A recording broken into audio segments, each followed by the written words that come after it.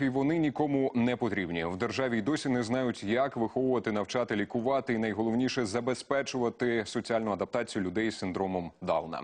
Тому абсолютна більшість із них сидять на пенсії з інвалідності, а могли б працювати, запевняють експерти.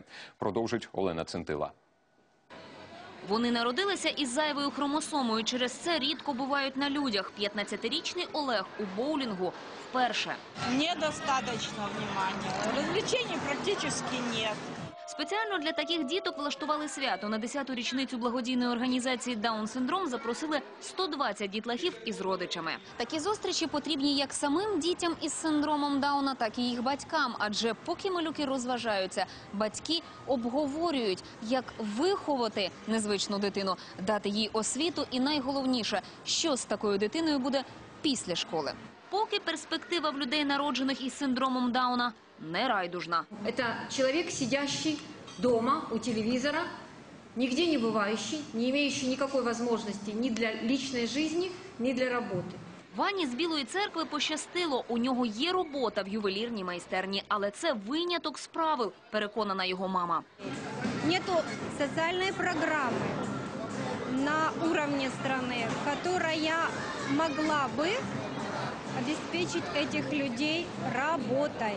Їх треба не лікувати, а виховувати, наполягають батьки. Та в Україні не знають як. Затверджених спецметодик немає, лише експериментальна, що нині під пильним наглядом Міносвіти. У медиків усе простіше. Після повноліття визнають дітей сонця психічно хворими, замість вигадати програму з їх адаптації. Аби щось змінити, активісти пишуть листа президенту. Додають величезний аркуш із відбитками дитячих ручок, аби було помітніше. Той, що надсилали у березні, і досі без відповіді. Чесно кажучи, мені інколи здаються е, причини дещо надуманими.